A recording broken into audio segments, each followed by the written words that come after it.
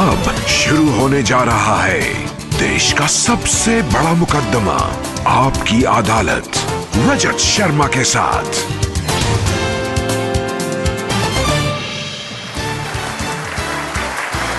नमस्कार, आपकी अदालत में आपका स्वागत है। आपकी अदालत में आज पेश करेंगे एक ऐसी शख्सियत को जो आजकल देश के हर बड़े नेता के निशाने पर है। सोनिया गांधी राहुल गांधी, शरद पवार, मुलायम सिंह यादव, आप जिस भी नेता का नाम ले लीजिए, उनके निशाने पर ये एक ही नेता है। और वो नेता आज होंगे आपके निशाने पर, देश की जनता के निशाने पर। Please welcome Bharatiya Janata party के प्रधानमंत्री पद के उम्मीदवार, गुजरात के मुख्यमंत्री नरेंद्र मोदी।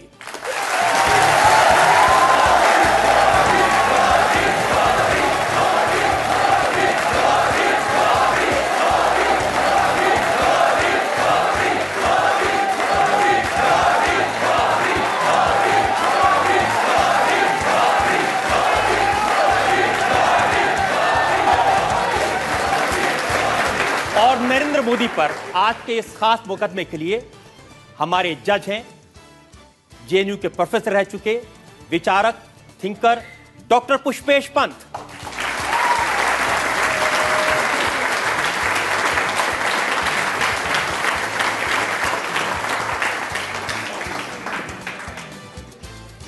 इससे पहले कि आपकी अदालत में आज का मुकदमा शुरू करें, आज के जज डॉक्टर पुष्पेश पंत की इजाज़त चाहेंगे, आज की कार्रवाई शुरू करने। कार्रवाई शुरू की जाए।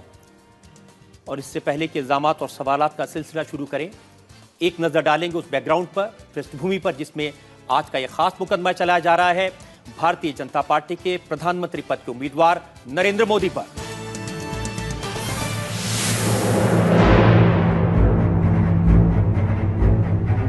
नरेंद्र दामोदर दास मोदी ने बचपन की रातें रेलवे स्टेशन पर चाय बेचते हुए गुजारी थी। आज वही चाय वाला बीजेपी की तरफ़ से प्रधानमंत्री पद का उम्मीदवार है। एक जमाने में जो नरेंद्र मोदी घर छोड़कर हिमालय की गुफाओं में चला गया था, आज वही नरेंद्र मोदी हर सर्वे, हर ओपिनियन पोल में प्रधानमंत्री पद के सबसे लोकप्रिय दावेदार हैं। जिस नरेंद्र मोदी की आरएसएस में ट्रेनिंग पर्दे के पीछे रहकर काम करने की थी, वही नरेंद्र मोदी आज हर पोस्टर हर पब्लिसिटी में हर दीवार पर दिखाई देते हैं। मैं दीप नहीं बुझने दूँगा मैं देश नहीं मिटने दूँगा। टीवी चैनल्स पर सोशल मीडिया में नेशनल प्रेस में नरेंद्र मोदी सबसे ज़्यादा चर्चित व्यक्तित्व हैं। 2002 तक जिस व्यक्ति ने न चुनाव लड़ा न किसी पद पर रहा वही नरेंद्र मोदी जब गुजरात के मुख्यमंत्री बने तो तीन बार पार्टी को चुनाव जितवाया और अब अपनी पॉपुलैरिटी के दम पर लोकसभा चुनाव में फ्रंट रनर बने हुए हैं। जिस नरेंद्र मोदी को दो वक्त का खाना जुटाने में दिन रात एक करना पड़ता था, वो नरेंद्र मोदी एक ब्रांड बन गए हैं। इस समय नरेंद्र मोदी देश के सबसे चर्चित और सबसे विवादित नेता हैं। आपकी अदालत में नरेंद्र मोदी अपना मुकदमा खुद लड़ेंगे। मुकदमा शुरू होता है। आपकी अदालत में पहला इल्ज़ाम नरेंद्र मोदी का। आपकी अदालत में बीजेपी के प्रधानमंत्री पद के उम्मीदवार नरेंद्र मोदी पर आरोप है कि इन्होंने पब्लिसिटी करके अपनी हवा बनाई है। मोदी जी जो देश के बड़े बड़े नेता हैं सोनिया जी राहुल जी चिदम्बरम जी शरद पवार जी सब परेशान हैं। जहाँ जाते हैं वो एक ही चीज़ उनको देखने को मिलती है एक ही चीज़ सुनने को मिलती है अब की बार मोदी सरकार।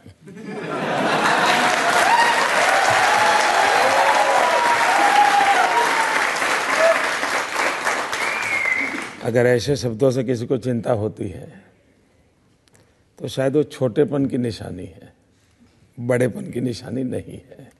अब मैं आपको बताता हूँ सोनिया जी ने क्या कहा। उन्होंने कहा कि देश के कोने कोने में इश्तहारों का जाल बिछाकर एक आदमी को हर मर्ज की दवा और देश के लिए चमत्कारी नेता बनाकर पेश किया जा रहा है। आजकल दिल्ली पर ब्लैक मैजिक वालों का कब्जा है। ब्लैक मैजिक हुआ है। सब गायब हो गया है। सब गायब जिन्होंने नौजवानों के रोज़गार गायब कर दिए, जिन्होंने देश का कोयला गायब कर दिया जिन्होंने बिजली गायब कर दी तिजोरी गायब कर दी। तो ये ब्लैक मैजिक से ज़्यादा अच्छा है ये जादूगरी। देखिए उनका कहना है कि नरेंद्र मोदी ऐसा माहौल बना रहे हैं कि इनसे बड़ा देशभक्त कोई है ही नहीं। देशभक्ति के नकली नारे लगाकर कुर्सी हासिल करना चाहते हैं। इस देश के सवा सौ करोड़ देशवासी देशभक्त हैं। किसी की देशभक्ति से किसी से नीचे नहीं होती, किसी से ऊपर नहीं होती। और इसलिए न मैं किसी की देशभक्ति पर शक करता हूँ और न ही मैं कोई महान देशभक्त होने का दावा करता हूँ।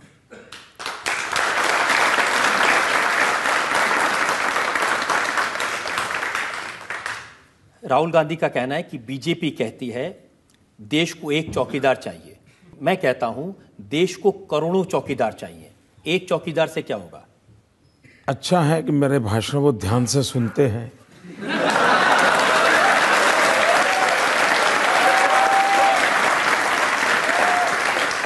और उन्हें ये मालूम है कि अगर एक सवा सौ करोड़ चौकीदार होंगे तो कहीं न कहीं अपने काम चल जाएगा। एक चौकीदार होगा तो बड़ा मुश्किल हो जाएगा। तो ये उनको मालूम है। और मुझे चिंता ये है कि जब सवा सौ करोड़ चौकीदार होंगे तो जिन पर आदर्श घोटाले का आरोप है,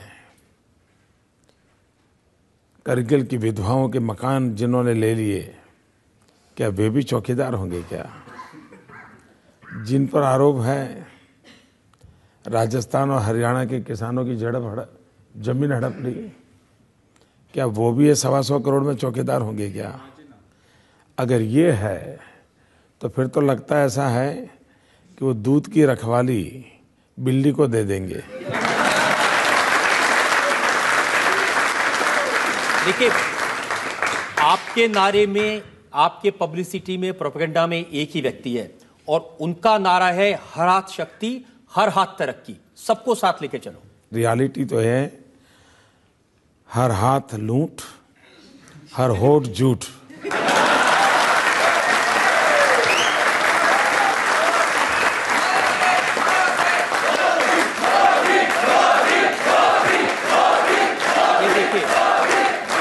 जैसे ये यहाँ लोग मोदी मोदी कर रहे हैं, हर जगह।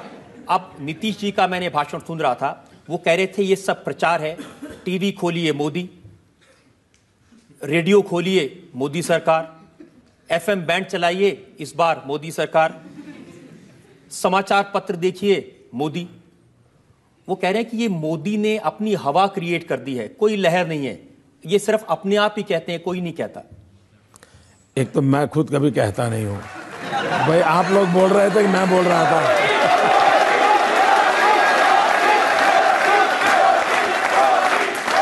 आपको किसी ने सिखाया है आपको किसी ने बताया है? आप अपनी मर्ज़ी से बोल रहे हो।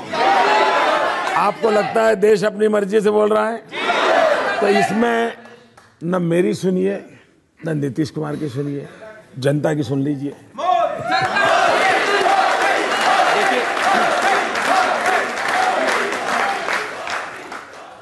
ये जो जनता के मोबाइल फ़ोन है, जो मेरा भी मोबाइल फ़ोन है, इसके ऊपर मैसेज आते हैं।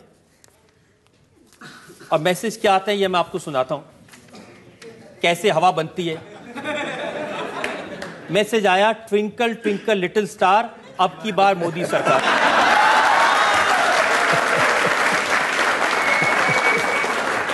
मैसेज आया, राहुल गांधी ने खाई चॉकलेट बार, अब की बार मोदी सरकार. फिर मैसेज आया, पराठों के साथ खाओ अचार, अब की बार मोदी सरकार और फिर किसने कहा, दिल का भंवर करे पुकार, अब की बार मोदी सरकार और फिर पॉलिटिकल भेजा किसी ने। सोनिया जी ने मनमोहन जी से कहा, अब तो अपना मौन तोड़ दो सरदार। मनमोहन जी बोल पड़े, अब की बार मोदी सरकार। और एक अभी थोड़ी देर पहले मैसेज आया है, भाइयों, मत मारो चांटा बार बार मैं भी कहता हूँ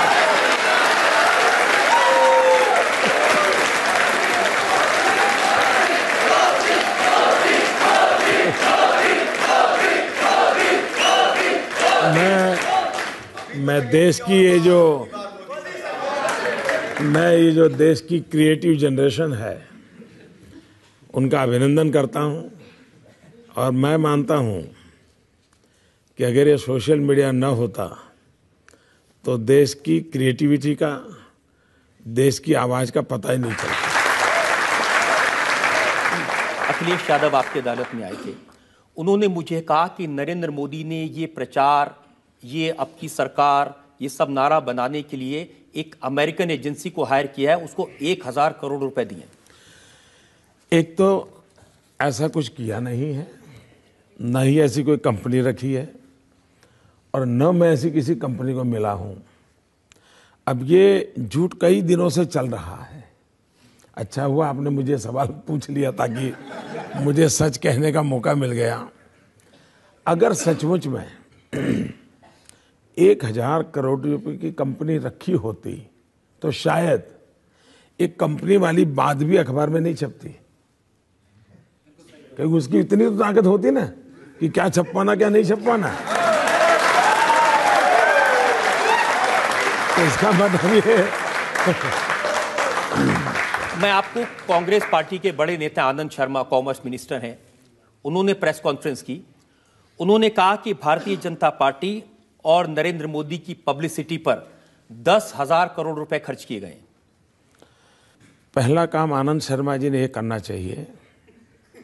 इलेक्शन कमीशन को चिट्ठी लिखनी चाहिए। दूसरा, उन्होंने एनफोर्समेंट डिपार्टमेंट होता है भारत सरकार को। उसको लिखना चाहिए कि ये दस हज़ार करोड़ आए कहाँ से, किसके पास आए, उसकी जाँच करो। कम से कम बाकी सब कामों में उनकी सरकार विफल गई है। न उनको कुछ करने का सूझता भी नहीं है। मैं उनको आइडिया देता हूँ। कि कम से कम ये काम करो। उनकी अभी अभी तीस चालीस दिन बाकी है। पूरी सरकारी मशीनरी लगा दो और देश के सामने कच्चा चिट्ठा खोल के रख दो। और मैं आनंद शर्मा को निमंत्रण देता हूँ कि जितना हो सके उतना जल्दी करो। अच्छा इलेक्शन कमीशन को आचार संहिता के कारण कोई रुकावट आती हो कि ऐसा कर सकते हैं? मैं इलेक्शन कमीशन को लिख करके देने को तैयार हो। कि आनंद शर्मा और सोनिया जी की सरकार जितनी भी मोदी की जाँच करनी है तो तत्काल कर ले। मुझे अच्छा लगेगा। लेकिन राहुल गांधी कहते हैं कि मोदी जी ऐसे आदमी हैं ये गंजों को कंगा बेच सकते हैं। मैं चाय बेचता था कंगे तो मैंने बेचे नहीं है। लेकिन मैं ये कर सकता हूँ, ये इन तक पहुँच गया, ये तो मेरी सफलता है। ये मेरी सफलता है। देखिए, ये तो सच है कि 2009 में जिसका ज़िक्र राहुल गांधी अपनी पब्लिक मीटिंग्स पे करते हैं, एक गुब्बारा भरा था, इंडिया शाइनिंग का, बहुत हवा भर के उड़ाया, वो फूट गया। वो कह रहे हैं कि अब ये 2014 में एक नया गुब्बारा लेके आए हैं और उसमें बहुत हवा भरी है, धड़ाधड़ धड़ाधड़, वो उसे कहते हैं, हवा भरते हैं। और उनका कहना है कि जब चुनाव के नतीजे आएँगे तो ये गुब्बारा भी फूटेगा। 2002 में भी जब गुजरात का चुनाव था, कांग्रेस के मित्र यही कह रहे थे। 2007 में गुजरात का चुनाव हुआ, कांग्रेस के मित्र यही कहते थे। 2012 में कांग्रेस, गुजरात का चुनाव हुआ, कांग्रेस के मित्र यही कहते थे। और गुब्बारा उनका फूट गया, देश जानता है। तो पहली बार गुजरात में उन्होंने मेरे साथ फ्रेंडली मैच की है और वो प्राइमरी मैच में बुरी तरह पिट गए हैं। अब वो फाइनल में आए हैं, मैदान में जनता तय कर लेगी देखिए सोनिया जी का कमेंट मैंने उस देखा, वो पब्लिक मीटिंग में कह रही थी, ये ऐसे दिखा रहे हैं कि अब तक देश में कुछ हुआ ही नहीं और नरेंद्र मोदी आकर रातों रात कुछ कर देंगे। 21वीं सदी का ये पहला दशक,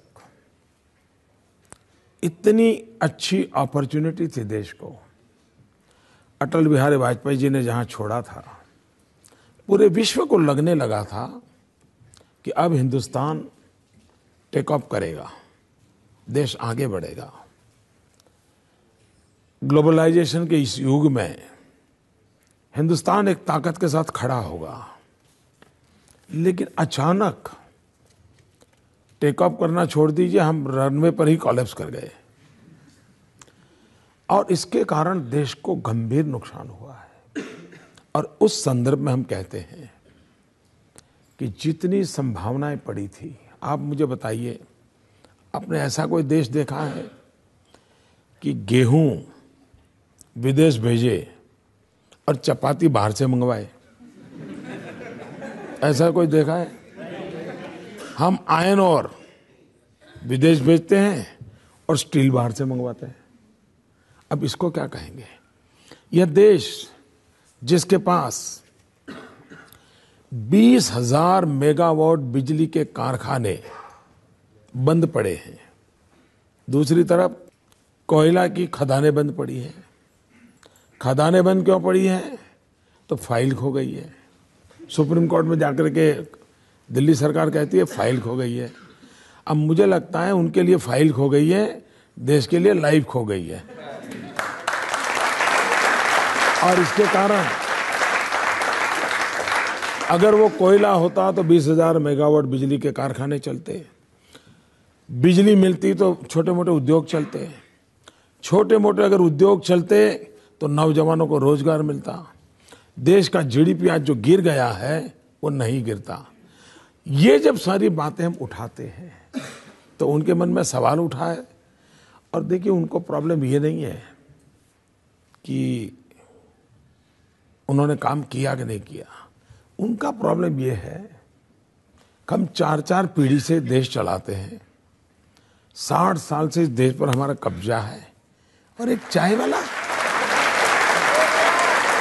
एक चाय वाला हमें ललकारता है। ये उनको सहन नहीं हो रहा है। ये लोकतंत्र है। छोटे से छोटा बच्चा भी शासक को सवाल पूछ सकता है। इनको सवाल सुनने की आदत नहीं है। परेशानी इस बात की है। परेशानी इस बात की है कि ये चाय वाला प्रधानमंत्री बनने की कोशिश कर रहा है। पहली बात है प्रधान नंबर नंबर वन मेरी ज़िंदगी का उसूल है और मैं आज आपकी अदालत के माध्यम से उस बात को ज़रूर कहना चाहूँगा। मैं वो इंसान हूँ जिसने इस मिनट तक कभी कुछ बनने का सपना नहीं देखा है। और मैं भी नौजवानों को कहता हूँ, कभी भी बनने के सपने मत देखो। अगर सपना देखना है तो कुछ करने का देखो। मैंने कभी भी बनने का सपना नहीं देखा। मैंने, मैं तो कभी मेरे गाँव में अगर थोड़ी पढ़ाई करने का सौभाग्य मिला होता और स्कूल का टीचर भी बन जाता तो मेरी माँ ने ज़रूर मिठाई बांटी होती।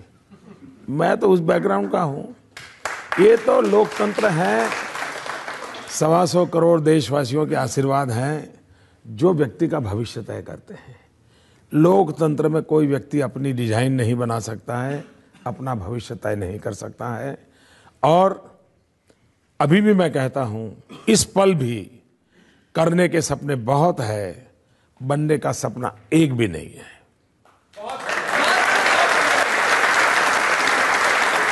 मैं आपकी इस बात से बिल्कुल सहमत हूँ कि देश की जनता तय करती है। कौन प्रधानमंत्री बनेगा कौन चुनाव भी जीतेगा और ये चुनाव के बाद ज़रूर तय भी हो जाएगा। लेकिन मेरे पास इल्ज़ाम की बहुत लंबी फहरिस्त है। एक ब्रेक के लिए रुकेंगे और ब्रेक के बाद आपकी अदालत में नरेंद्र मोदी पर जनता के इल्ज़ाम और सवाल का एक आज़म खां का जो आज का बयान है वो आपको बताता हूँ। उन्होंने कहा कि एक कुत्ते का बच्चा मोटर के पहिए के नीचे आ जाए तो, तो गम ज़रूर होता है। कुत्ते के बच्चे के बड़े भाई नरेंद्र मोदी जी हमें तुम्हारा गम नहीं चाहिए। थैंक यू वेरी मच क्योंकि शायद वफादारी में कुत्ते से बढ़कर के कोई होता नहीं।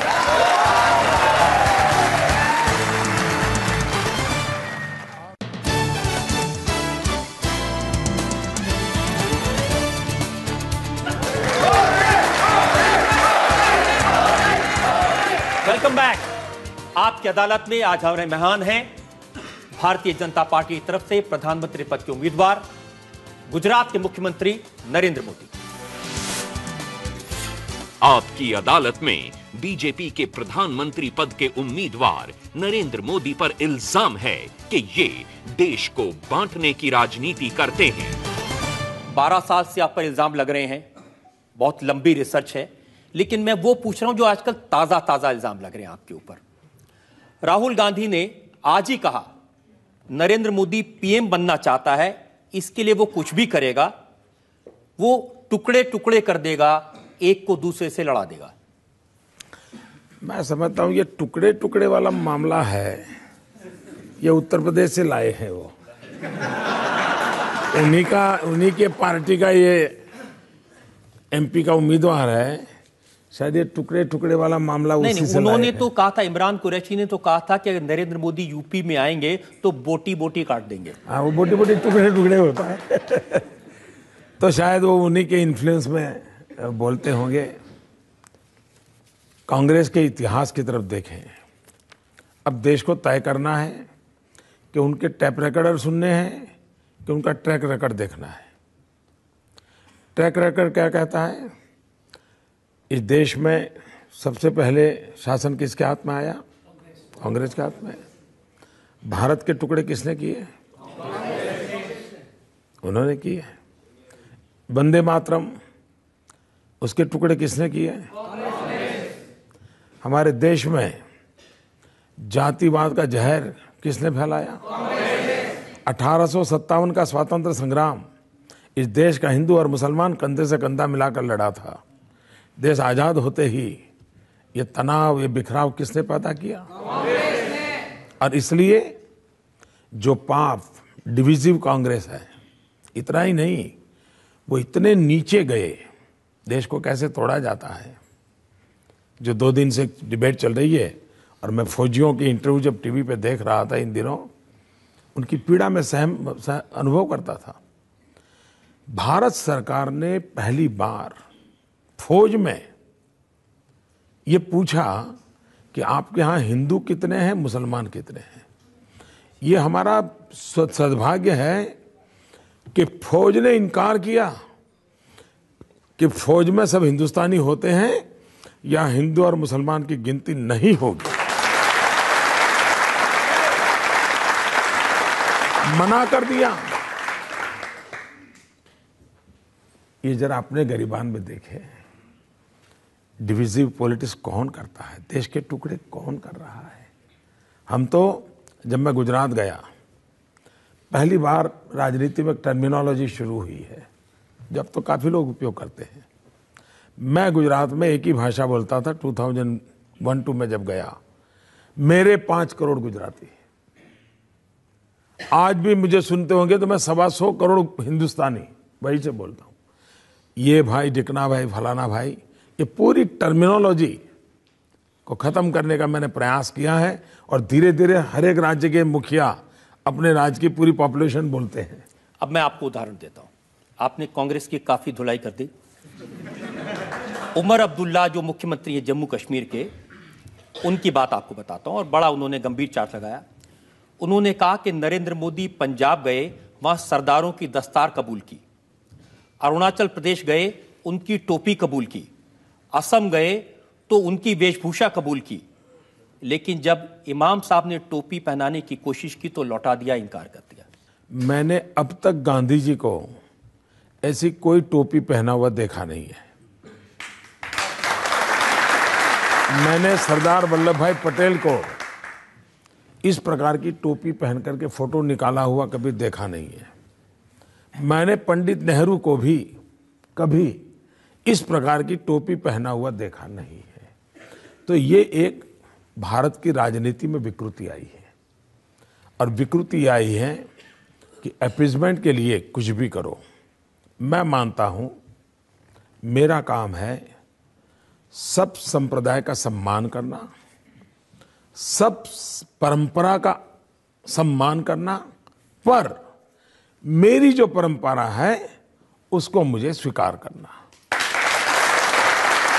तो मैं मैं मेरी परंपराओं को लेकर के जीता हूँ, हर एक की परंपरा का सम्मान करता हूँ, और इसलिए मैं ये टोपी पहन करके, फ़ोटो निकाल करके लोगों की आँख में धूल झोंकने का पाप मैं नहीं कर सकता। लेकिन कोई अगर किसी की टोपी उछालता है तो उसको कड़ी की कड़ी सजा करने का मैं मन रखता हूँ।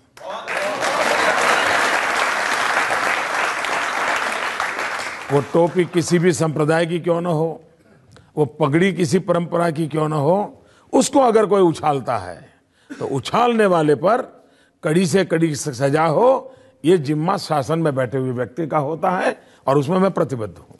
लेकिन मोदी जी, नीतीश जी ने एक बार कहा था जब आप सार्वजनिक जीवन में होते हैं पब्लिक लाइफ में होते हैं तो कभी तिलक लगाना पड़ता है, कभी टोपी पहननी पड़ती है, दूसरों की भावनाओं का ध्यान रखना पड़ता है। उनको लगता है कि ऐसा करने से भावनाएँ संभल जाती हैं, वो ये करें। मुझे लगता है कि उनके बच्चों को शिक्षा मिलनी चाहिए। उनके हाथ में भले कुरान हो, उनके हाथ में कंप्यूटर भी होना चाहिए। ये मेरी सोच है। तो उनकी सोच उनको मुबारक। मेरी सोच मुझे मुबारक। देखिए आपकी सोच का और आपके शब्दों के चयन का क्या हाल होता है उसका मैं आपका उदाहरण देता हूँ। आज़म खान साहब उत्तर प्रदेश की सरकार में मंत्री हैं। उन्होंने कहा आज़ादी के 60 वर्ष बाद कहा गया कि हम आदमी नहीं हैं कुत्ते के पिल्ले हैं। जिसने कहा हो उसने गलत किया हो। कौन है वो ऐसा कहने वाला? ये आपने कहा था। मैं कभी ऐसा न सोच सकता हूँ न मैं बोल सकता देखिए वो जो एक इंटरव्यू मेरे पास में है जो आपने दिया था हाँ। उस इंटरव्यू में आपने कहा ये मैं बता देता हूँ हमारे यहाँ देखिए हेडलाइन छपी हुई है। जी, जी, हम इंसान हैं कुत्ते का बच्चा भी कार के नीचे आ जाए तो दुख होता है। हाँ लेकिन उसमें किसी को कहाँ कहा है मैंने? आपके के शब्द है? आपकी क्या हो रही है मैं आपको मैं मुजरिम मुजरिम मैं हूँ लेकिन मैं एक सवाल पूछ ले रहा हूँ। इसको दोबारा पढ़िए आप। मैं पूरा पढ़ देता हूँ। ऊपर वाला पहले पढ़ लीजिए। ऊपर तो है हम इंसान हैं कुत्ते का बच्चा भी कार के नीचे आ जाए तो दुख हाँ, होता है। ये तो हमारे यहाँ- लेकिन आप पूरी बात तो सुनने दीजिए ना हाँ मैं आपको पूरी बात आपसे पूछा गया सवाल 2002 में जो हुआ उस पर आपको अफसोस है? तो आपने कहा भारत का सुप्रीम कोर्ट दुनिया में अच्छी अदालत के तौर पर जाना जाता है। इसकी रिपोर्ट में मुझे पूरी तरह क्लीन चिट दी गई। इससे अलग एक बात। ये, कोई भी व्यक्ति जो कार ड्राइव कर रहा हो और हम पीछे बैठे हों, कुत्ते का एक छोटा बच्चा पहिए के नीचे आ जाए तो दुख होगा कि नहीं? ज़रूर दुख होगा। मैं मुख्यमंत्री हूँ या नहीं, लेकिन मैं एक इंसान हूँ। हमारे देश में ऐसा कहते हैं कोई भी, अरे भाई, चीटी मर जाए तो भी पीड़ा होती है। चीटी मर जाए तो भी पीड़ा होती है। ये ये आपकी संवेदना की तीव्रता को व्यक्त करने के लिए मुहावरे होते हैं। उसको अगर कोई ये कहे कि आपने इंसान को चीटी कह दिया तो मैं समझता हूँ इस प्रकार का इंटरप्रिटेशन करने वालों का प्रॉब्लम है। दूसरा, जिसने मेरा इंटरव्यू लिया था, जब हिंदुस्तान के कुछ मीडिया के मित्रों ने उसको उछाल दिया, जिसने इंटरव्यू लिया था, वो विदेशी होने के बावजूद भी उसने ट्वीट किया कि मोदी ने ना ऐसा कहा है न हमने ऐसा समझा है, ये गलत इंटरप्रिटेशन हो रहा है। यानी इंटरव्यू लेने वाला एक फॉरेनर भी मेरी संवेदना को समझ पाया। लेकिन लेकिन, जो न्यूज़ ट्रेडर्स हैं, मैं मीडिया की बात नहीं कर रहा हूँ। मीडिया तो बहुत अच्छा है मीडिया की ताकत बहुत महत्वपूर्ण है, इसलिए मुझे मीडिया के खिलाफ कुछ नहीं कहना है। लेकिन, जो न्यूज़ ट्रेडर्स है इन न्यूज़ ट्रेडर के लिए माल बेचने के लिए काम आता है तो उपयोग करते हैं। लेकिन आज़म खां का जो आज का बयान है वो आपको बताता हूँ। उन्होंने कहा कि एक कुत्ते का बच्चा मोटर के पहिए के नीचे आ जाए तो, तो गम ज़रूर होता है हमें तुम्हारा गम नहीं चाहिए। बड़े भाई कुत्ते के बच्चे के बड़े भाई नरेंद्र मोदी जी हमें तुम्हारा गम नहीं चाहिए। थैंक यू वेरी मच क्योंकि शायद वफादारी में कुत्ते से बढ़कर के कोई होता नहीं।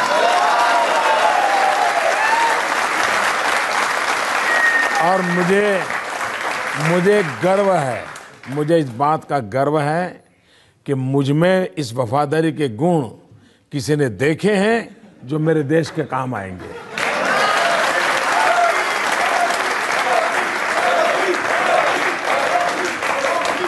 लेकिन एक सच ये है कि भारत के प्रधानमंत्री ने, मनमोहन सिंह जी ने, उन्होंने कहा कि अगर नरेंद्र मोदी देश का प्रधानमंत्री बन गया तो देश के लिए डिजास्टर्स होगा।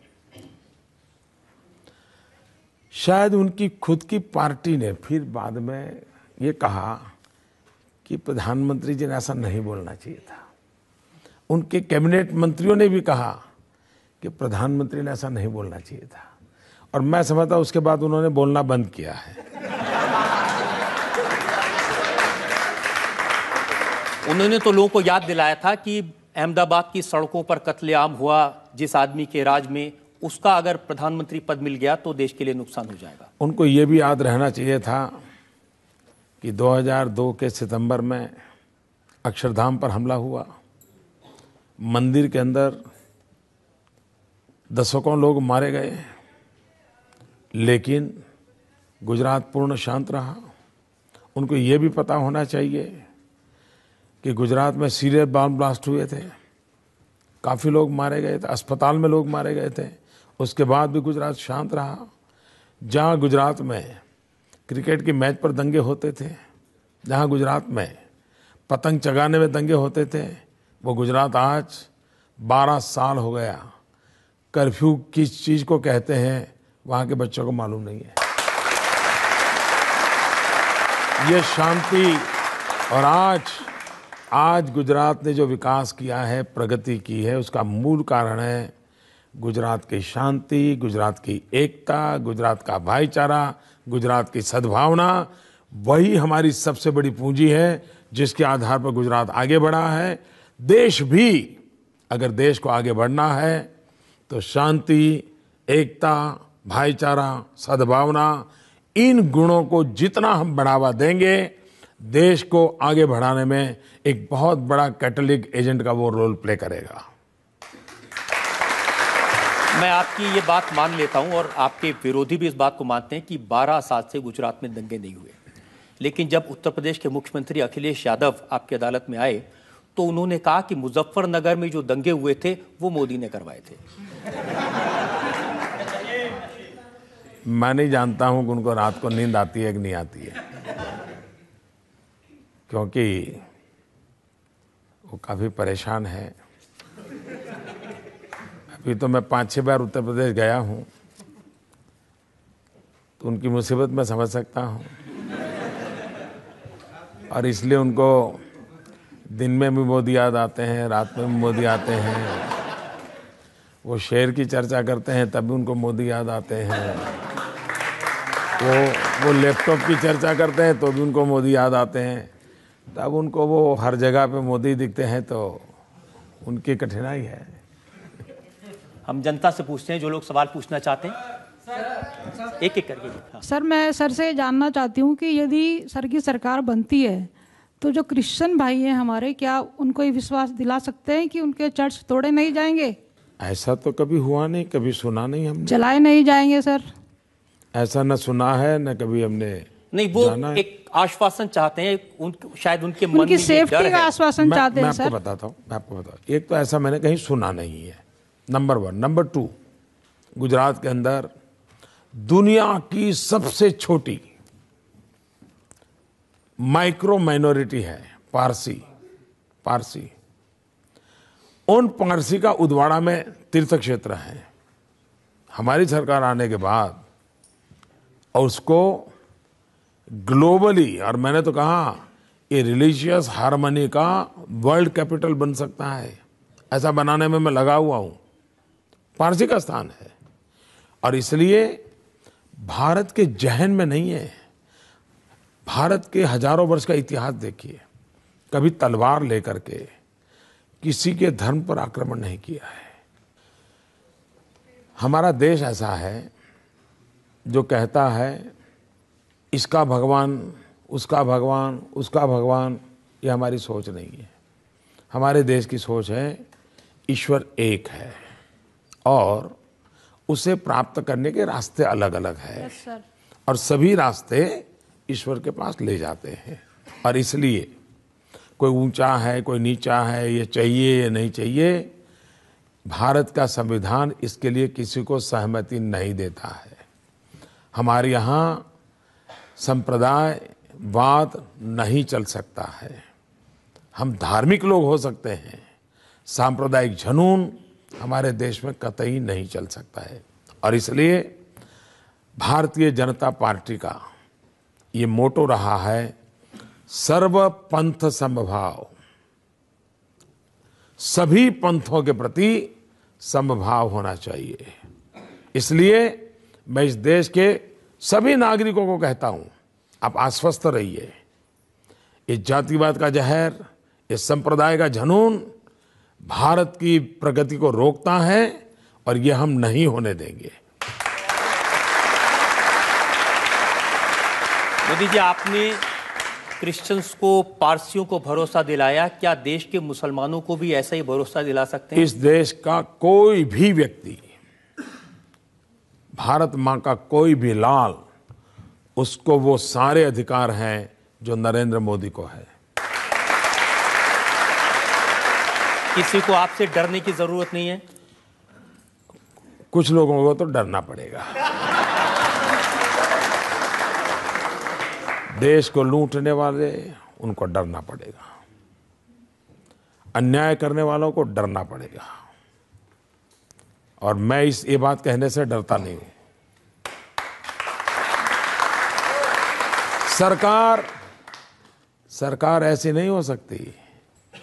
कि जिसमें जो मर्ज़ी पड़े वो चले। कानून का राज होना चाहिए। लोगों को सुरक्षा का एहसास होना चाहिए। लोगों को अपने जीवन जीने का भरोसा होना चाहिए। ये नहीं है, यही तो मुसीबत है। और नहीं है उसका कारण है, न कानून का डर है, न व्यवस्था का डर है, न अफसर का डर है। आपको घर में भी कुछ तो डिसिप्लिन रखनी पड़ती है। और डिसिप्लिन रखना गुनाह है। तो भारत की भलाई के लिए वो गुना भी मुझे मंजूर है। एक और ब्रेक के लिए मुझे रुकना है और ब्रेक के बाद आपकी अदालत में नरेंद्र मोदी पर इल्ज़ाम और सवाल आपका सबसे ज़्यादा पावर में कौन रहा? सबसे ज़्यादा जहर किसने चखा? सबसे ज़्यादा जहर किसके पेट में है? तो जहर सबसे ज़्यादा कौन उगलेगा? अब बताइए मैं क्या करूँ?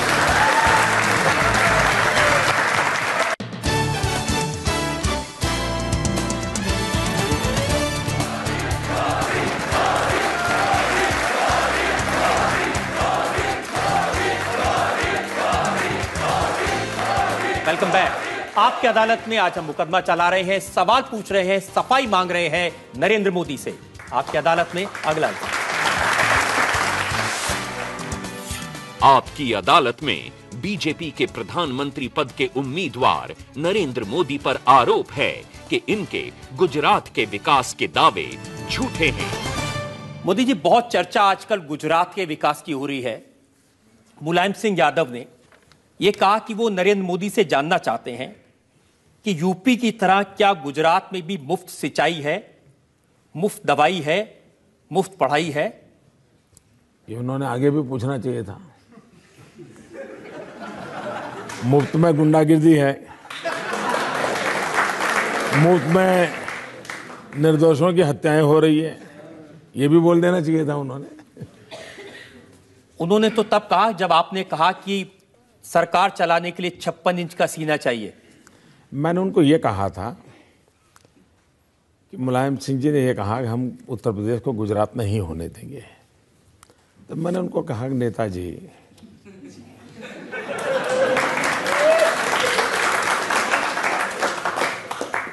गुजरात बनाने के लिए छप्पन इंच का सीना लगता है। और फिर मैंने आगे कहा था, गुजरात बनाने का मतलब होता है 24 घंटे तीन सौ पैंसठ दिन बिजली। गुजरात बनाने का मतलब होता है कि गुजरात में अधिकतम घरों में नल से पीने का पानी, गुजरात बनाने का मतलब होता है 99 परसेंट गाँवों में पक्की सड़क, ये होता है। तो मैंने कहा, इसके लिए आप में दम नहीं है। आप आप जा, जातिवाद की राजनीति करते रहो उससे आगे आप निकल नहीं लेकिन राहुल गांधी तो कहते हैं ये जो कुछ आपने इमेज बनाई है गुजरात की बिजली की पानी की रोज़गार की ये सारी मार्केटिंग करके बनाई है। चलिए मानो मैं दिल्ली में आके मार्केटिंग करूँ बंगाल में जाके मार्केटिंग करूँ असम में जाके करूँ तो थोड़ी देर मान सकते हो। लेकिन गुजरात की जनता के सामने तो मार्केटिंग नहीं चलता ना। उसको तो सामने दिखता है ना। मैं कहूँ कि मैंने रोड बनाया और रोड नहीं है तो गुजरात की जनता के गले उतरेगा, नहीं उतरेगा ना।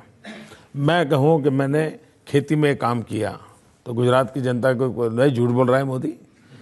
अगर ऐसा होता तो मोदी 2002 में न जीतता 2005 में नहीं जीतता 2007 में नहीं जीता 2004 के पार्लियामेंट में गुजरात में नहीं जीते 2009 के पार्लियामेंट में नहीं, नहीं जीते।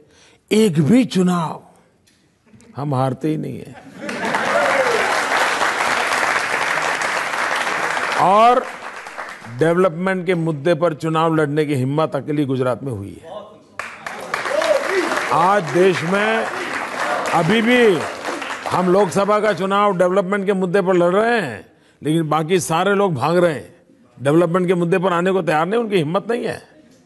क्योंकि उनको लगता है कि ये जिम्मा है, जो जवाब देना पड़ता है। देखिए, मैं 2001 में जब गुजरात गया तो लोग मुझे मिलने आए। मैं बहुत सालों के बाद गुजरात गया था। मेरा तो कोई इस क्षेत्र से लेना देना नहीं था। मुख्यमंत्री बनने से पहले मुख्यमंत्री का चैम्बर भी नहीं देखा था। एमएलए भी नहीं बना था। स्कूल के टीचर का भी चुनाव नहीं लड़ा था। तो मेरा तो तो मैं नया नया था, सीख रहा था, लोग मुझे मिलने आते थे। बोले, मोदी जी, कुछ करो या ना करो, कम से कम शाम को खाना खाते समय बिजली मिले, इतना तो करो। मतलब उस समय गुजरात में शाम को भी भोजन के समय बिजली नहीं मिलती थी। आज 24 घंटे, तीन सौ पैंसठ दिन बिजली मिलती है। ये बात ये बात मार्केटिंग से नहीं होती है जी। उसके घर में स्विच ऑन करे और जब बल्ब जलता है तो फिर उसको लगता है हाँ यार मोदी सही बोल रहा है। लेकिन ये भी तो सच है कि गुजरात के प्रमोशन के लिए मार्केटिंग के लिए आप अमिताभ बच्चन को ले आए। ये बात सही है। वो अमिताभ बच्चन जो कांग्रेस के साथ जुड़े थे वो अमिताभ बच्चन जो समाजवादी पार्टी के साथ जुड़े थे। देखिए मोदी में औरों में फ़र्क क्या है? फ़र्क यही है। वो मुलायम सिंह के बहुत निकट रहे, उत्तर प्रदेश के रहे, उत्तर प्रदेश के प्रति उनका प्रेम भी है, लेकिन मुलायम सिंह जी ने उनसे क्या काम लिया? उन्होंने काम लिया, यूपी है दम, जुल्म है कम, ये किया। हाँ उनकी गाड़ी चली नहीं। अमिताभ बच्चन का उपयोग क्या करना चाहिए? इसके लिए समझ चाहिए। मैंने क्या उपयोग किया? मैंने उनको गुजरात की बात बता वो गुजरात सरकार की बात नहीं बताते वो कच्छ के रेगिस्तान की बात बताते हैं, हैंडीक्राफ्ट की बात बताते हैं, वहाँ की जीवन शैली की बात बताते हैं। और ये सोच अगर मेरे पास है तो यही तो मेरा काम है कि अमिताभ बच्चन जी से भी, वरना मैं भी उनके बगल में तस्वीर निकलवा करके राजनीति कर लेता, लेकिन मैं वो नहीं करता हूँ। मेरे गुजरात की भलाई के लिए अमिताभ बच्चन जी का जो उपयोग हो सकता है, वो करना चाहिए। और अब तक, पिछले पाँच छः साल से मेरे साथ काम कर रहे हैं, कभी भी न उनकी तरफ़ से पॉलिटिकल बयान गुजरात का आया होगा, न मेरी तरफ़ से कभी उनका नाम पॉलिटिकल बयान में आया होगा। ये बिल्कुल संयम हमने बरता है। और दूसरी बात, मैं सार्वजनिक रूप से कहना चाहूँगा जब ये मैंने उनके सामने प्रपोजल रखी कि मुझे गुजरात का टूरिज़्म प्रमोट करना है, आप मेरी मदद कीजिए। उन्होंने कहा, मोदी जी, मेरी आवाज़, मेरा चेहरा मैं आपको देता हूँ। आप उपयोग कीजिए। फिर मेरे, हमारे अफसरों ने उनसे बातचीत शुरू करी। उन्होंने कहा, नहीं, मैंने मोदी जी को वादा किया, मैं एक नया पैसा नहीं लूँगा। और आप जानते हैं, एक नया पैसा लेते नहीं जी गुजरात के टूरिज़्म का काम जो अमिताभ जी कर रहे हैं एक नया पैसा उन्होंने लिया नहीं है। और मैं इसके लिए उनका बहुत बहुत अभिनंदन करता हूँ।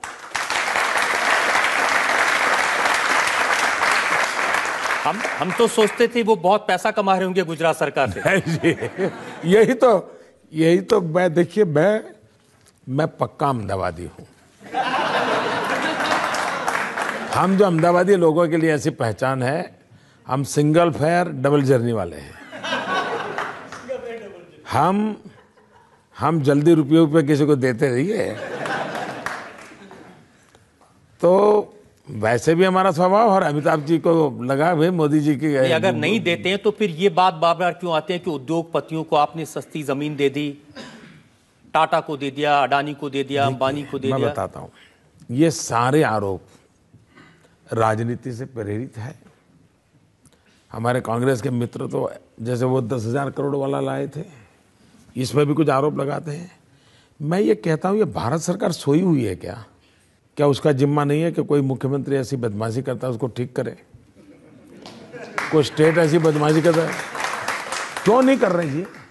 इसलिए इसका मतलब इसका मतलब या तो उनमें ये भी दम नहीं है दूसरा, गुजरात स्टेट के संबंध में सुप्रीम कोर्ट का एक बहुत बड़ा महत्वपूर्ण रिमार्क है। सुप्रीम कोर्ट ने कहा है कि ज़मीन देने के संबंध में और ज़मीन संपादन करने के संबंध में गुजरात की पॉलिसी इतनी उत्तम है, देश के अन्य राज्यों ने उस मॉडल को स्वीकार करना चाहिए। सुप्रीम कोर्ट का कहना है। तीसरी बात ये जो झूठ चल रहा है ना नैनो को ज़मीन दी। नैनो को एक इंच ज़मीन सरकार ने नहीं दी है। एक इंच ज़मीन किसान से लेकर के नहीं दी है। तो आरोप तो लग रहा है कि किसान से छीन करके दे दिया वही तो वही अरे इनको कुछ मालूम ही नहीं जी कुछ भी बोलते वरना सुप्रीम कोर्ट तो मेरी बात क्यों मानती जी? दूसरी बात है मार्केट रेट से ज़्यादा पैसों से हमने ज़मीन दी है। और दूसरा गुजरात स्टेट है जो पॉलिसी ड्रिवन स्टेट है। नीति बनी हुई है। आप भी कोई जाएँगे तो उसको भी वही लाभ मिलेगा जो हिंदुस्तान का सबसे बड़ा अमीर जाएगा उसको भी मिलेगा। लेकिन राहुल गांधी कहते हैं कि गुजरात की कोई बात इसलिए सामने नहीं आती क्योंकि वहाँ पर आरटीआई नहीं है।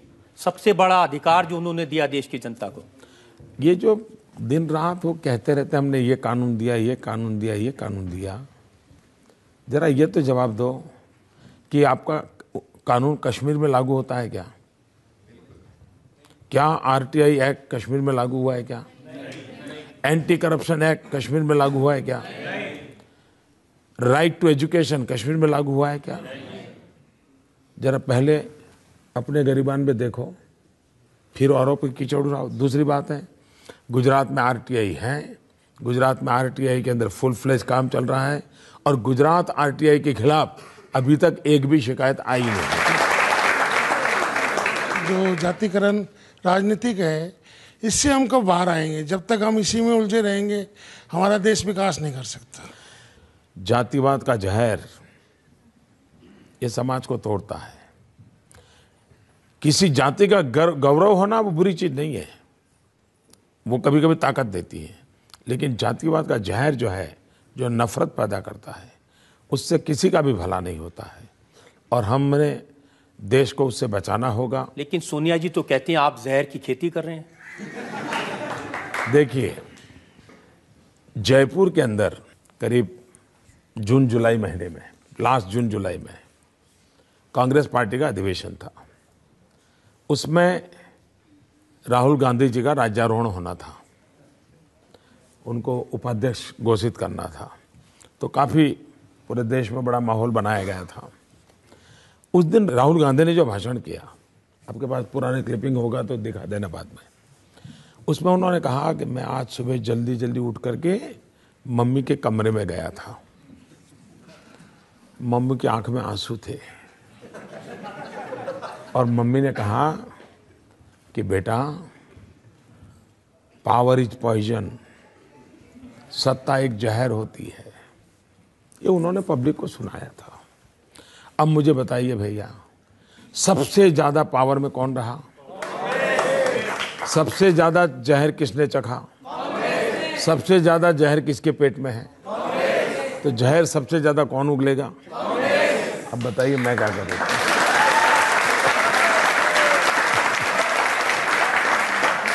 देखिए, सच ये है कि अगर आज के इलेक्शन कैंपेन को देखते हैं तो मौलाना मदनी ने एक बड़ी बात कही। उन्होंने कहा कि नरेंद्र मोदी का नाम लेकर के मुसलमानों को डराया जा रहा है। आप एकता की बात कर रहे हैं, लेकिन आपके नाम से देश टूट सकता है। मेरे नाम से नहीं टूट सकता है। इस प्रकार के लोग जो बोल रहे हैं, उनसे टूट सकता है।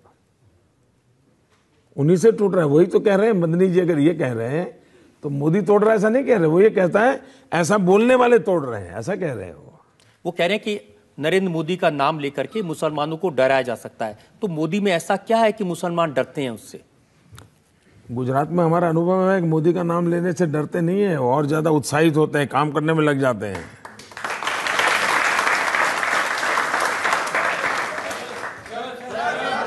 श्योर श्योर बिल्कुल सबको मौका दें कोशिश करें। सर मेरा क्वेश्चन ये है कि अमेरिका ने आपके ऊपर प्रतिबंध लगाया था। क्या आप प्रधानमंत्री बनने के बाद अमेरिका जाएँगे? 2005 में जब ये वीज़ा को लेकर के मेरे साथ जो कुछ भी हुआ उस दिन मैंने प्रेस को मिला था मैं। और उस दिन मैंने स्टेटमेंट किया था। मैंने कहा कि हम ऐसा हिंदुस्तान बनाना चाहते हैं ताकि अमेरिका वीज़ा लेने के लिए लाइन में खड़ा रहे।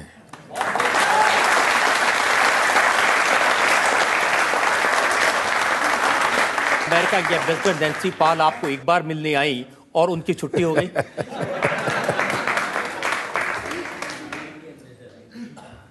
अब ये खोज का विषय है शायद पत्रकार लोग जल्दी खोज पाएँगे। एक और ब्रेक के लिए मुझे रुकना है और ब्रेक के बाद आपकी अदालत में नरेंद्र मोदी पर इल्ज़ाम और सवाल का एक और हर पोस्टर पर मोदी का नाम होता है। ऐसा लग रहा है कि भारतीय जनता पार्टी में कोई दूसरा नेता बचा ही नहीं है। हम एक टीम है एक बहुत बड़ी टीम है। तो पिछले छह महीने में अडवाणी जी तीन बार क्यों रूठ गए? और जसवंत सिंह आपने उनको टिकट नहीं दिया। मुख्तार अब्बास नकवी ने ट्वीट किया साबिर अली पार्टी में आए हैं अब दाऊद इब्राहिम की एंट्री होगी।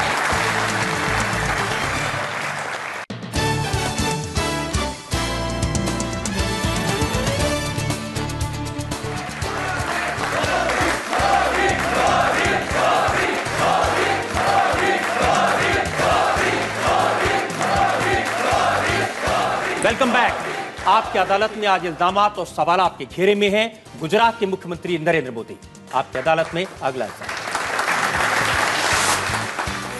आपकी अदालत में बीजेपी के प्रधानमंत्री पद के उम्मीदवार नरेंद्र मोदी पर इल्ज़ाम है कि ये बीजेपी पर एक छत्र राज चलाते हैं। एक छत्र राज चलता है भारतीय जनता पार्टी में। जहाँ जाते हैं मोदी मोदी मोदी सुनाई देता है। हर पोस्टर पर मोदी का नाम होता है। ऐसा लग रहा है कि भारतीय जनता पार्टी में कोई दूसरा नेता बचा ही नहीं है। ऐसा नहीं है। भारतीय जनता पार्टी एक विशाल संगठन है। संगठन व्यवस्था से ऑर्गेनाइजेशन सेटअप बना हुआ होता है। ढेर सारी गैलेक्सी ऑफ़ लीडर्स और एक से बढ़कर एक ऐसी बहुत बड़ी हमारी टीम है। कभी हम अटल जी के नेतृत्व में चुनाव लड़ रहे थे तो अटल जी की बात कर रहे थे। कभी अडवाणी जी की नेतृत्व में चुनाव लड़ रहे थे अडवाणी जी बात कर रहे थे। फ़िलहाल मुझे ये काम मिला है।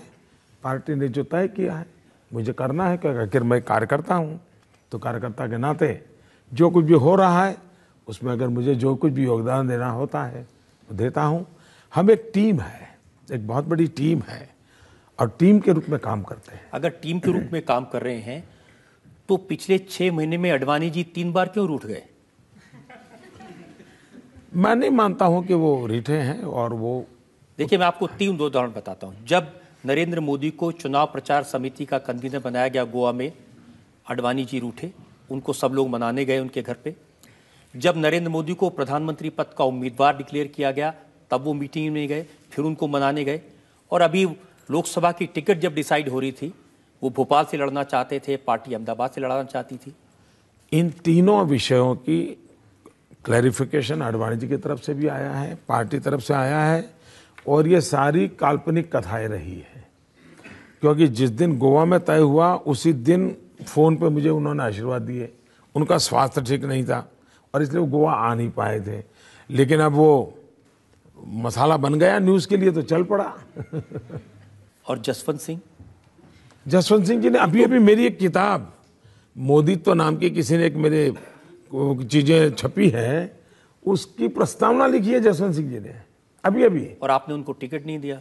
ऐसा है टिकट मैं नहीं देता हूँ टिकट मैं नहीं देता हूँ। स्टेट इलेक्शन कमेटी अपना रिकमेंडेशन भेजती है सेंट्रल इलेक्शन कमेटी करती है। और उनके बेटे को अभी अभी असेंबली में चुनाव लड़वाया जिताया है। जसवंत सिंह जी के बेटे उसी बार मेरे लोकसभा क्षेत्र से एमएलए है। तो ऐसा नहीं है कि कोई उनके प्रति कोई नकारात्मक भाव था। अब उनके लेकिन ये बात सही है। आखिरकार देखिए भाजपा में लाखों कार्यकर्ता है। अब टिकट तो 500 लोगों को मिलने वाला है। तो थोड़ा बहुत तो राज़ी नाराजी की संभावना हर जगह पे ज़्यादा हो रही है कि राहुल गांधी को भी चिंता है। आज ही का मैं उनका भाषण सुन रहा था वो कह रहे थे कि बड़े बड़े नेता अडवाणी जी हैं, जसवंत सिंह जी थे, नरेंद्र मोदी ने सबको किनारे लगा दिया। पहली बात यह है कि जो लोग हैं, वे वो लोग हैं जिन्होंने मोदी को उंगली पकड़ के चलाया है। और आज भी ये वो लोग हैं जिनके चरणों में बैठ करके मैं जीवन की बहुत कुछ शिक्षा दीक्षा लेता हूँ। और इसलिए न उनको भारतीय जनता पार्टी के चरित्र का पता है न भारतीय जनता पार्टी की कार्यशैली का पता है। लेकिन वो इसलिए ऐसा बोलते हैं क्योंकि उनके यहाँ सीताराम केसरी के साथ क्या हुआ था? उठा करके ऑफ़िस से बाहर फुटपाथ पर पटक दिया था। ऑल इंडिया कांग्रेस के प्रेसिडेंट थे। सोनिया जी को बिठाना था। तो उनके यहाँ ये हुआ है तो बचपन से उन्होंने यही देखा है। तो उनके, उनको बाहर का कुछ मालूम नहीं है ना। लेकिन अब वो कल्चर बीजेपी भी नहीं आई। मुख्तार अब्बास नकवी ने ट्वीट किया साबिर अली पार्टी में आए हैं अब दाऊद इब्राहिम की एंट्री होगी। अब वो उन दोनों के बीच का मामला है रहने दीजिए उनके पास। और पार्टी के बहुत सारे नेता ये कहते हैं कि नरेंद्र मोदी को पार्टी में जितना नहीं पसंद करते बाहर वाले पसंद करते हैं। राज ठाकरे आपका रिश्ता तो शिवसेना से उद्धव ठाकरे से है लेकिन राज ठाकरे कह रहे हैं मैं नरेंद्र मोदी को प्रधानमंत्री बनाऊँगा। पहली बात है कि इसका पहला पार्ट जो है, वो आपका अनुमान सही नहीं है। आज भारतीय जनता पार्टी के मुझसे इतने श्रेष्ठ वरिष्ठ कार्यकर्ता हैं मेरी पार्टी में। मुझसे ज़्यादा अनुभवी हैं, लेकिन उन्हीं लोगों ने मुझको अपने कंधे पर बिठाया है। मेरी पार्टी के लाखों कार्यकर्ता आज रात दिन देखे बिना इतना पसीना बहा रहे इतना पसीना बहा रहे हैं अगर मैं जो कुछ भी हूँ तो उन पार्टी के लाखों कार्यकर्ताओं की बदौलत हूँ। अगर आज मैं इतना ऊपर दिखता हूँ तो मेरी पार्टी का जो शीर्ष नेतृत्व है, उसने मुझे अपने कंधे पर बिठाया, इसके कारण दिख रहा हूँ। इसलिए मेरी पार्टी में कोई मेरे साथ नहीं है, ये मैं सोच भी नहीं सकता हूँ। वो सब हैं, इसलिए तो मैं यहाँ दिख रहा हूँ। अगर वो ना होते तो मैं धरती पर भी कहीं नज़र नहीं आता। तो रियलिटी ये है। दूसरी बात है जब सारा देश अगर ये कुछ बातें कह रहा है तो और भी लोग कहते होंगे और दलों के लोग भी कहते होंगे। कुमार विश्वास मैंने सुना कि वो आपकी तारीफ़ में कविताएँ पढ़ते रहे हैं और कहते हैं कि नरेंद्र मोदी मुझसे बात करते थे। ये बात सही है। मैं बात मैं तो बात सबसे करता हूँ जी। ज़्यादातर लोग ये चलाते हैं कि मोदी किसी से बात नहीं करते। कम से कम वो सच तो बोला कि मैं बात करता हूँ। लेकिन कांग्रेस में कम से कम ये क्राइसिस नहीं है वहाँ तो तय है कि लीडर कौन है किसकी कमांड चलेगी। और यही तो कांग्रेस की दुर्दशा का कारण है। देश की आरती उतारने के बजाय वो एक ही परिवार की आरती उतार रहे हैं। यही तो मुसीबत का कारण है।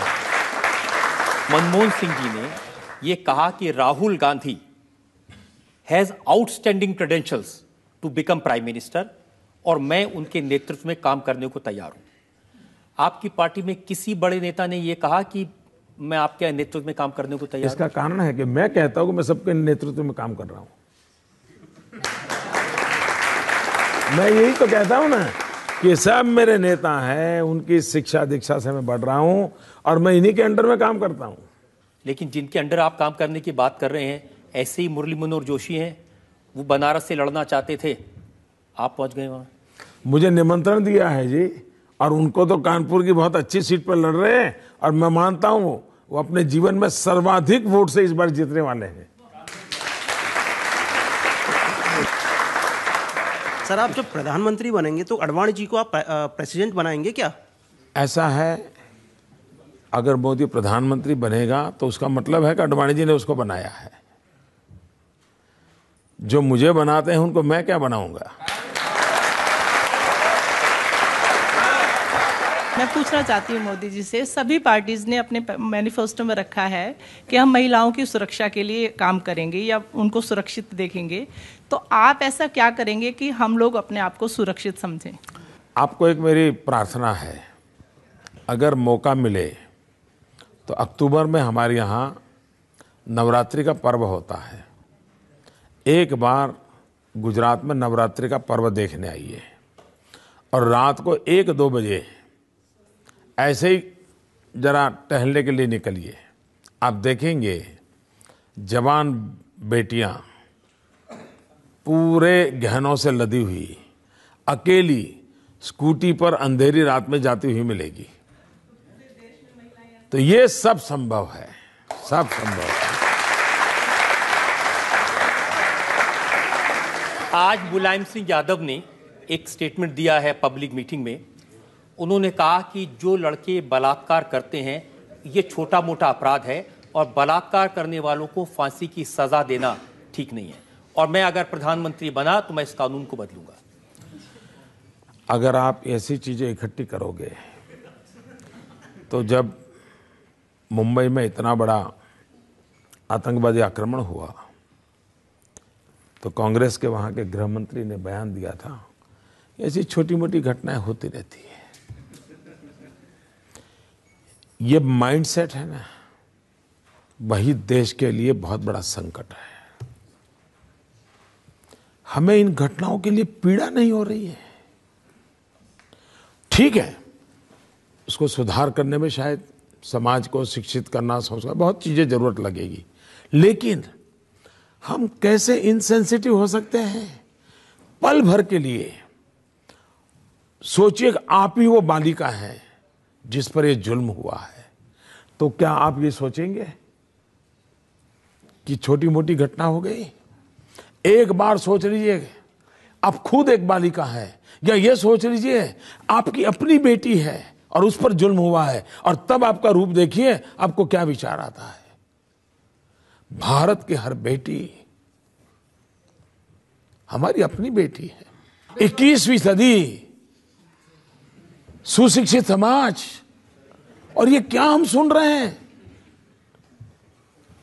ये ये मन को परेशान करने वाली चीज़ें हैं। और उसमें भी एक गाँव पर एसिड छिड़कने का काम इन नेताओं की नासमझी से होती है। तब बहुत पीड़ा होती है। मैं इसका राजनीतिक जवाब देना नहीं चाहता हूँ। मुझे बहुत पीड़ा होती है। मैं कोई पॉलिटिकल स्कोर नहीं चाहता इसमें। मैं भगवान से प्रार्थना करता हूँ, कम से कम ईश्वर हमें ऐसी बुद्धि न दे। ऐसी बुद्धि न दे। एक और ब्रेक के लिए रुकेंगे और ब्रेक के बाद आपकी अदालत में नरेंद्र मोदी पर जनता के इल्ज़ाम और सवाल का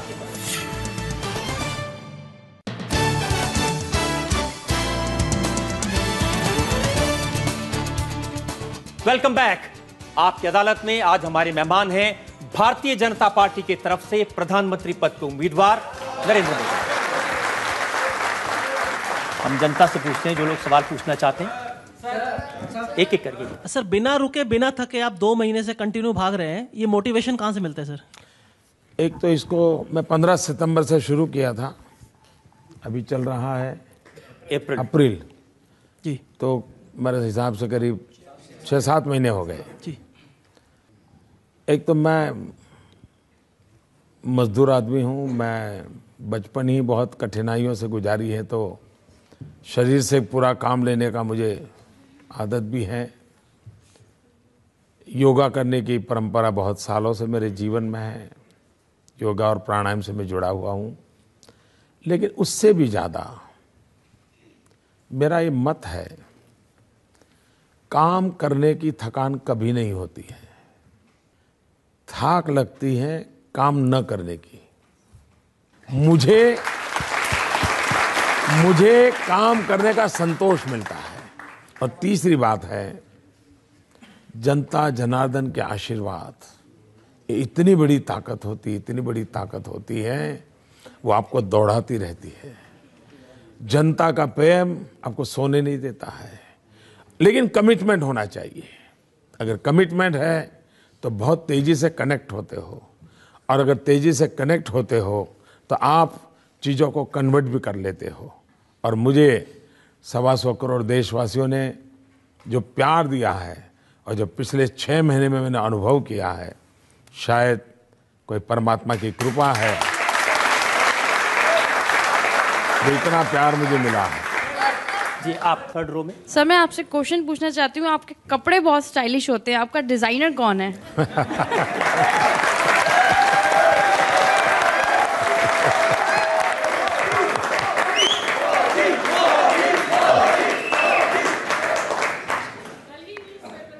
देखिए ऐसा है कि मैं अब इस ऐसी जगह पे पहुँचा हूँ तो भांति भांति की बातें होती है।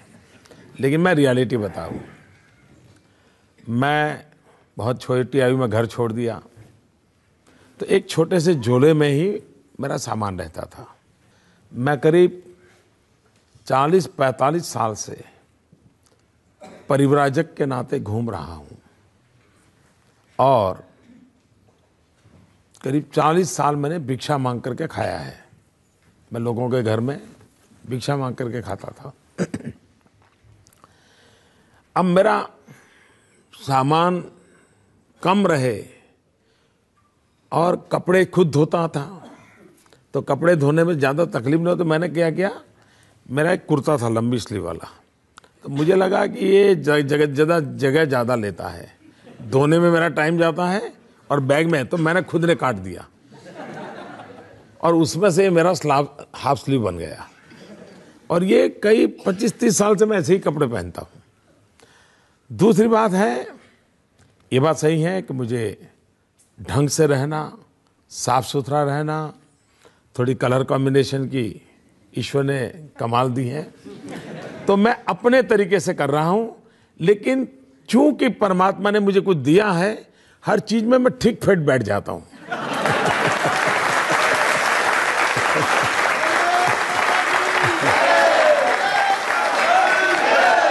न कोई न कोई मेरा फ़ैशन डिज़ाइनर है न ही कोई इस प्रकार की व्यवस्था है ज़रूर टेलर तो लगता है तो टेलर के वो बनाता है और वही मेरी गाड़ी चलती है।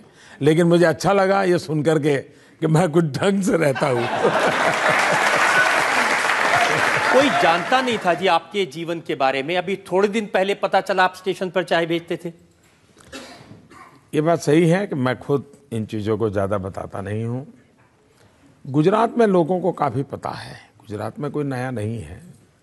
लेकिन अब जरा गुजरात के बाहर मेरी बातें बहुत हो रही तो फिर अपने आप, और आजकल तो मीडिया इतना वाइब्रेंट है कि हमारे जेब से अगर कोई चीज़ गिर भी जाए तो अखबार में तस्वीर आ जाती है। तो पता चला फिर क्या हुआ कि एक दिन मैं यहाँ दिल्ली में आया था। शायद अक्टूबर महीने में यहाँ की रैली थी। उसी दिन एक कांग्रेस के लोगों ने बड़ी अनाप शनाप गालियाँ भी दी थी। मोदी तो अमेरिका एजेंट है टिकना है, अमीरों के, वगैरह वगैरह। मुझे बड़ी पीड़ा हो रही थी। मुझे लगा ये इस प्रकार की भाषा है तो एक बार मुझे कहना पड़ेगा। मैं जीवन में पहली बार, यहाँ दिल्ली में ही, वहाँ रोहिणी में जब मेरा एक रैली हुई थी, मैंने कहा, मुझे क्या ये बोल रहे हो लोग? इन्हें पता है हम कौन है? मैंने कहा मैं बचपन में रेल के डिब्बे में चाय बेच करके बड़ा हुआ हूँ और आप मुझ पर ऐसे इल्ज़ाम लगाते हो? उसमें से एक बात निकल पड़ी। बाकी तो अब बहुत सी बातें होती है हर चीज़ें कहाँ बताने जाएँगे। अब जैसे मैं बता देता हूँ। बचपन में आप इतने शरारती थे कि तालाब में से मगरमच्छ का बच्चा उठा के घर ले आए। मैं शरारती कम साहसिक ज़्यादा था।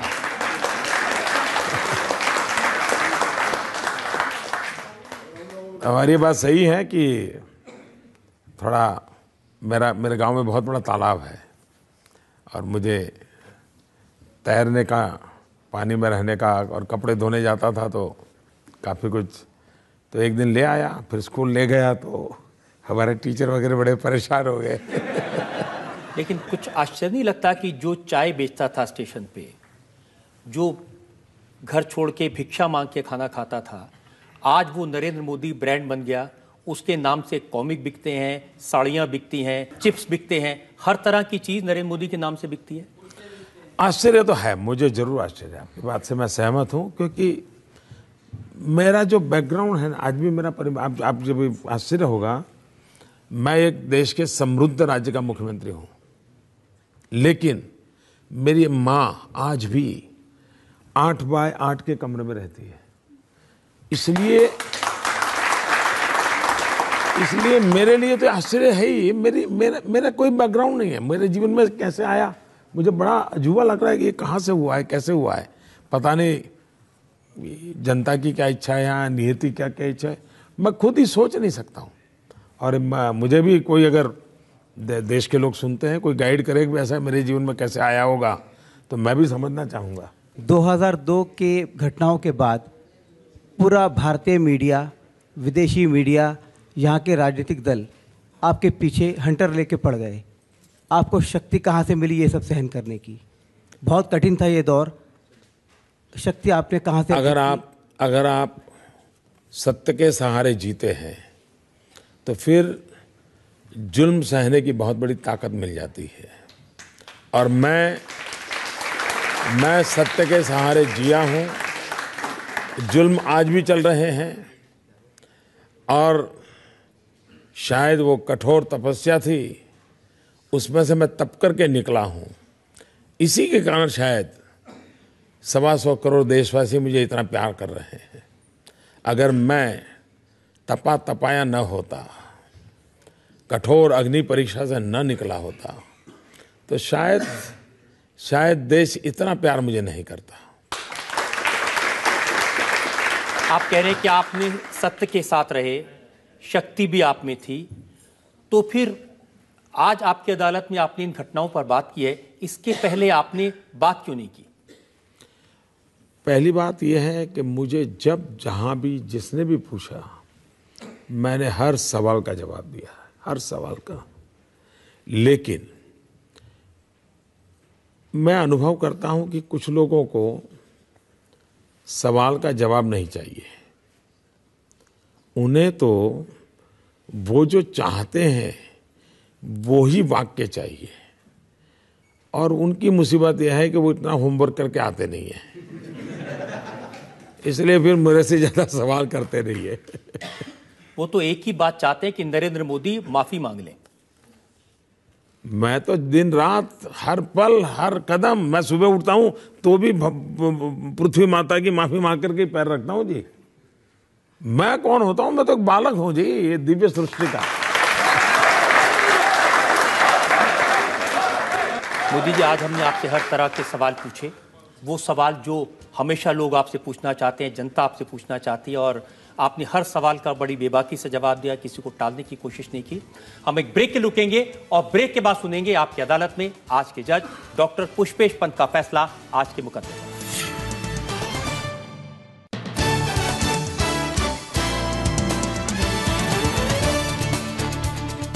Welcome back. आपकी अदालत में आज हमने मुकदमा चलाया भारतीय जनता पार्टी की तरफ़ से प्रधानमंत्री पद के उम्मीदवार नरेंद्र मोदी पर। हमने नरेंद्र मोदी से इलेक्शन कैंपेन के दौरान लग रहे हर इल्ज़ाम पर सफ़ाई मांगी। अब वक्त है आपकी अदालत में आज के जज, जाने माने विचारक, लेखक, डॉक्टर पुष्पेश पंत के फैसले का। आज इस अदालत में जो मुकदमा चलाया गया, वो कई मामलों में असाधारण है। इस देश में ऐसा तो हुआ है कि जो कुर्सी पर बैठे हुए प्रधानमंत्री हैं, वो दैत्याकार भ्रष्टाचारों के आरोप में कटघरे में खड़े किए जाते रहे हैं। मगर ये शायद पहली बार हो रहा है कि जो प्रधानमंत्री पद का दावेदार मात्र भर है, उसे भावी प्रधानमंत्री मानकर शपथ ग्रहण करने के पहले ही इस कटघरे में खड़ा कर दिया गया है। दूसरी अहम बात जो ध्यान देने लायक है और अदालत उसे रेखांकित करना चाहती है, कि पिछले बारह साल से ये अभियुक्त निरंतर अदालतों के कटघरे में खड़ा किया जाता रहा है, मीडिया के कटघरे में खड़ा किया जाता रहा है।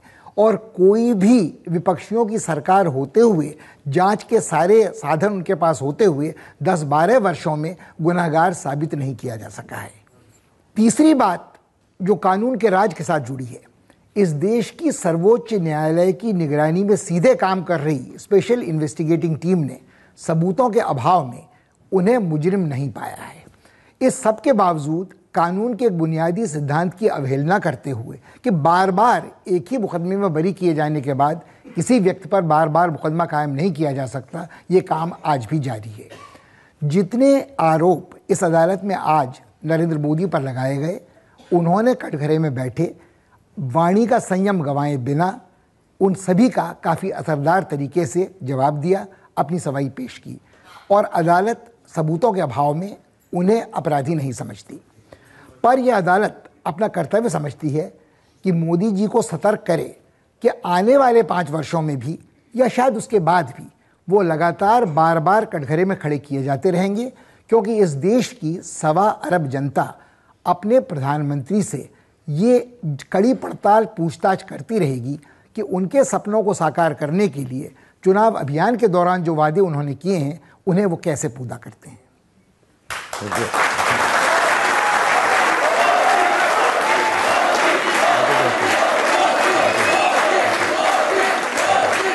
नरेंद्र मोदी को देश की सर्वोच्च अदालत ने बरी किया।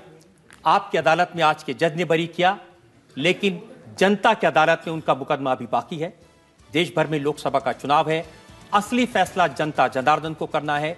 आप मालिक हैं इस देश के। आपको तय करना है कि नरेंद्र मोदी की बातों में कितनी सच्चाई है।